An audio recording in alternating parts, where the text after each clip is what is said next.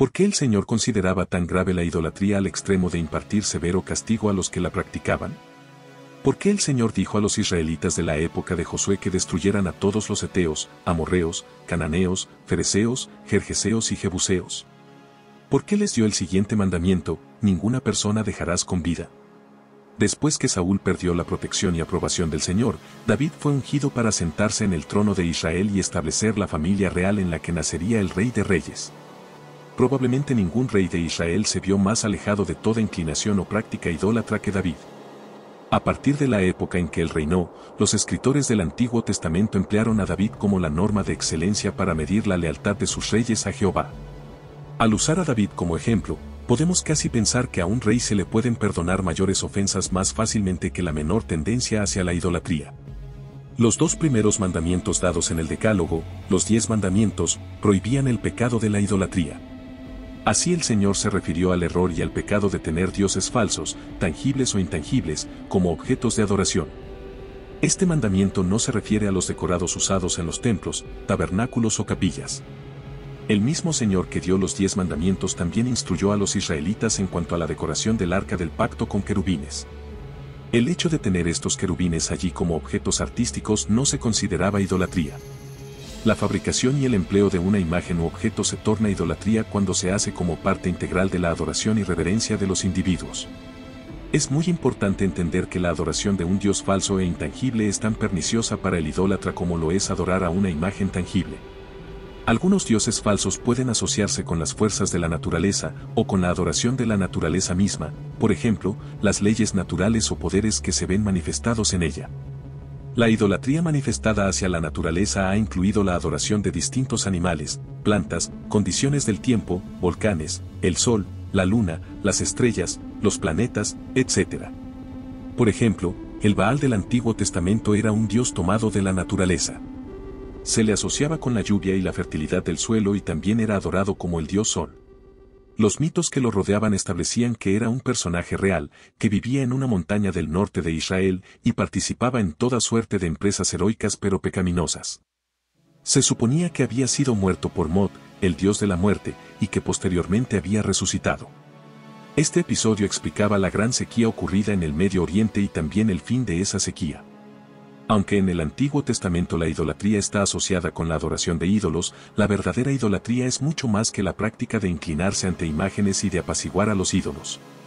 El Señor ha declarado en todas las épocas que siempre que los hombres ponen su confianza en otros hombres, naciones, tratados, tesoros, minerales preciosos, ejércitos o armamentos, sus hechos son una forma de idolatría porque revelan falta de confianza en Jehová.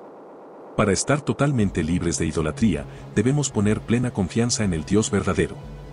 A causa de la idolatría, Israel se había apartado una y otra vez del pacto que había establecido con Jehová. La historia del Antiguo Testamento está repleta de relatos en los que Israel se vuelve a los dioses falsos, de advertencias del Señor contra la idolatría y también contiene advertencias de los profetas en cuanto a lo que sucedería si Israel no se arrepentía.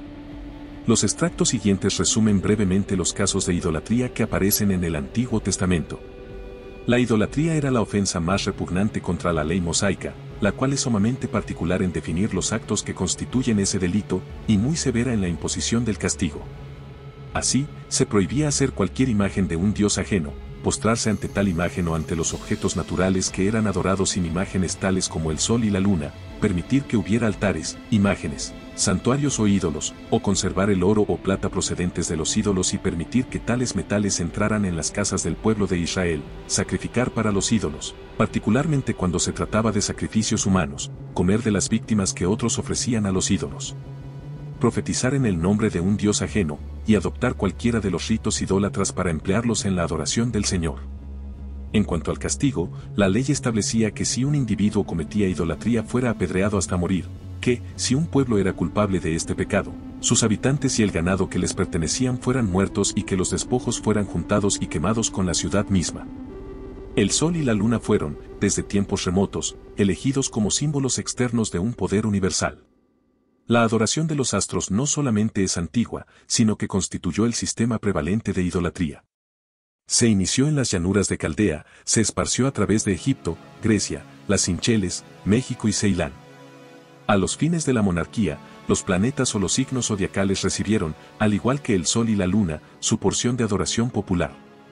La adoración de animales, tal como vemos en los becerros de Jeroboam, ya había sido mencionada.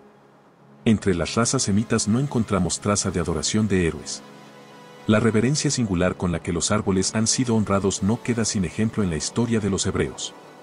Por ejemplo, la encina bajo la cual Jacob edificó un altar y la arboleda plantada por él en Berseba estaban íntimamente relacionadas con la adoración patriarcal.